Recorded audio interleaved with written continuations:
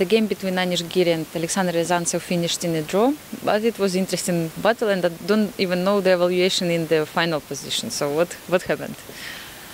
Uh, well, we played uh, interesting uh, theoretical variation.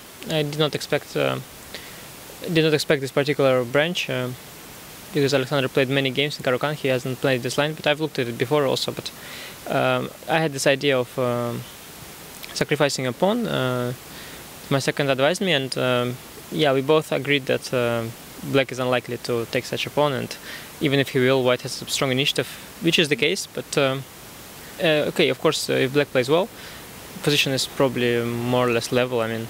Uh, but what happened at the end is that uh, I sacrificed one more pawn to keep some to keep uh, initiative going, and then um, I had um, I had not anticipated that he'll trade the knights because I had some hallucination that I will be able to win both pawns and keep his king in the center.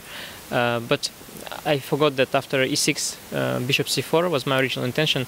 Always, you know, at any moment e6, bishop c4. But here he has bishop d6 with the tempo, attacking h2, and uh, then he can castle, and bishop 6 he has king h8. So he is able to bring his king to the safety here. And due to this variation, I abruptly decided to offer a draw because um, I think once I this direct variation doesn't work for me, uh, I think only black can be better. I was trying to find draw there after bishop e6 king h8, but it's not a very happy task, and um, probably I would have done it, and um, I think it's not so bad for white, but it's just not no longer fun. I mean, my point was, of course, to play with the king in the center, and of course, uh, I regret this move knight d4. If I should have started with bishop c4, I was choosing, uh, and I made the wrong choice, I think. Mm -hmm. Alexander, what do you think?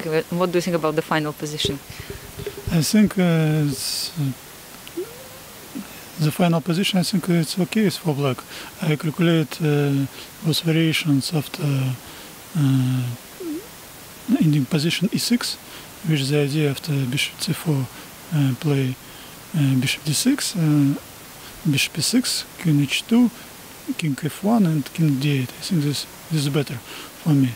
I think maybe interesting queen g3, the ending position, which the idea I calculate uh, queen d5, rook e4, it's very strange variations, of course. Uh, uh, f5, rook h4, king f7, and bishop e5. I think this full compensations for white. Uh, Anish told me simply play after um, after queen g3, queen f7. Yes, maybe you're right. It's better for me these ending positions. In opening, very interesting variations. Anish played very rare uh, line and uh, as far as I know, uh, Queen f3 is maybe Neventli. I was analyzing these positions. Uh, my alternative uh, without Queen c2 play Queen e6. I think after uh, exchange Queen f3, uh, White play take pawn pawn e3 f. I think is better for White engine. Okay, uh, of course I understood this crazy. Crazy is very dangerous for me positions. Uh, okay, what to do? Yeah, I think uh, actually Queen a5 is uh, already a novelty, but after Queen a4 we transpose back with Queen d5, Queen a4, Queen a5. So there were two novelties, yes, two, two, two, two, important, yeah. two important novelties in one game. It's a brilliant, brilliant uh, yeah, theoretical I think battle. It's already enough for one game. Huh? yeah, two, two novelties. Yeah, it happens sometimes that you can play two novelties actually in one game. That's uh, very nice. I didn't think about it before actually. And uh, Levon mentioned today that it's important to have a good result before the free day. Are you agree with this? Yeah, just uh, I think Levon considers a draw a good result uh, because he beat me yesterday. So it depends on uh, you know the I think two days before the rest day the result is important, not just one. yes. Also, uh, tomorrow will it's normal. I think it's normal result. It's five draw. Okay, and tomorrow I will rest. Maybe I will go to Palma de Mallorca in the central work and enjoy, enjoy this weather enjoy, for sure. Uh, Anish, actually, I don't know. I just wanted to ask you already after five days playing in the top level event and having here a small kid, Danny, who is just 13 months. How does it feel like? How do you cope with this? It's not. I don't think it's really often that top players bring their kids with them to the tournament. So I was wondering, how is it going for you so far? Um,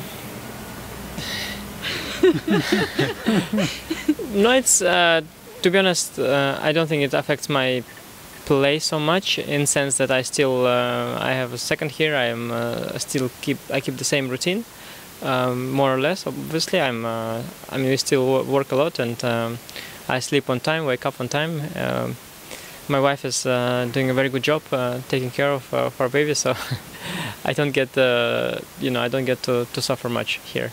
So, but it's a lot of fun. Um, he has a good time here. Of course, it's very sunny weather and yeah, we are looking forward, um, obviously, to, to, the rest of the tournament and the resting. Yeah. So, what are you going to do in a free day? Yeah, I also like the plan of going to the center. We've driven on the first day uh, through the center, and I think we both, uh, with Alexander, got uh, seduced by the sights there.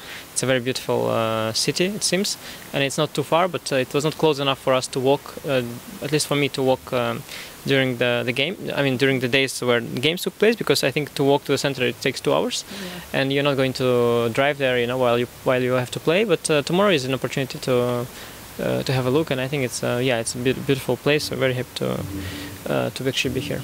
It seems like the whole tournament will move to Palma de Mallorca tomorrow. So see you there probably. Thank you so much and have a good free day.